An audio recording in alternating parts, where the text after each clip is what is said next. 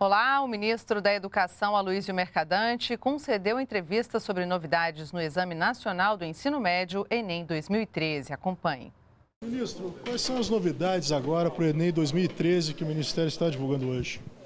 Olha, primeiro nós, primeiro nós estamos aumentando é, o rigor na correção das redações. Nós tínhamos é, três níveis de correção, são dois avaliadores independentes, um terceiro corretor e depois uma banca. Nós estamos mantendo essa estrutura, mas a diferença de nota entre os corretores não pode ser mais de 100 pontos agora. O ano passado eram 200 pontos.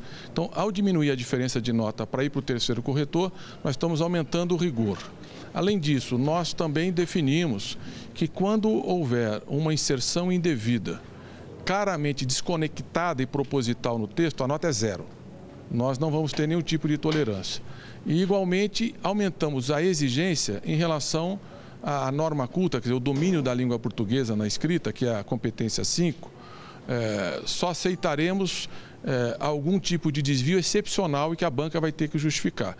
Então vai ser muito mais rigoroso para tirar a nota máxima e não vamos aceitar qualquer inserção que seja feito deliberadamente fora do tema da redação. Isso também vai levar nota zero. Ministro, todas as notas 10 mil serão levadas para a banca final?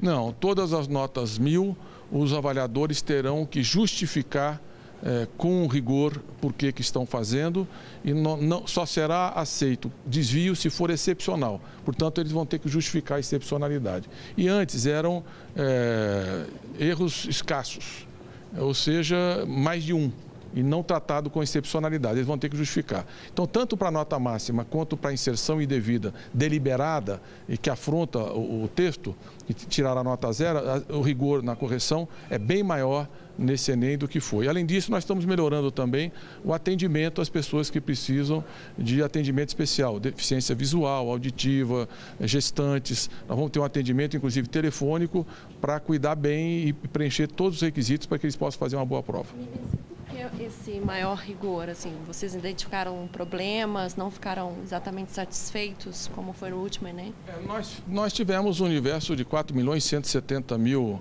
é, redações e participantes no último Enem. Nós, é o único exame que devolve todas as redações para as pessoas. Eles receberam cada uma das cinco competências que se esperava com um comentário a nota específica e a avaliação nossa que foi muito positiva o êxito que nós tivemos. No entanto, seis redações foram debatidas publicamente em mais de 4 milhões. Portanto, é um, é um, nível de problema muito específico, muito localizado. Mas mesmo assim a gente aprende com essa avaliação. A vista pedagógica é para isso, para ter um debate e um aprimoramento.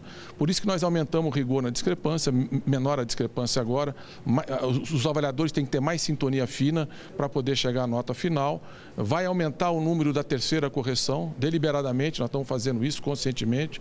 Nós estamos aumentando, a gente faz uma avaliação também dos avaliadores enquanto eles estão corrigindo. As exigências vão ser maiores, mais avaliadores vão ser afastados se não preencherem as competências. E essas duas outras mudanças que eu disse para vocês, qualquer inserção eh, que é, é descabida na prova, a nota é zero, não vai ter nenhuma tolerância. E para tirar a nota máxima vai ter que ser muito bom, porque só algum desvio excepcional e a banca vai ter que justificar porque que deu a nota máxima. Você acompanhou a entrevista coletiva do ministro da Educação, Aloysio Mercadante, sobre o Exame Nacional do Ensino Médio Enem 2013. Continue na NBR, a TV do Governo Federal.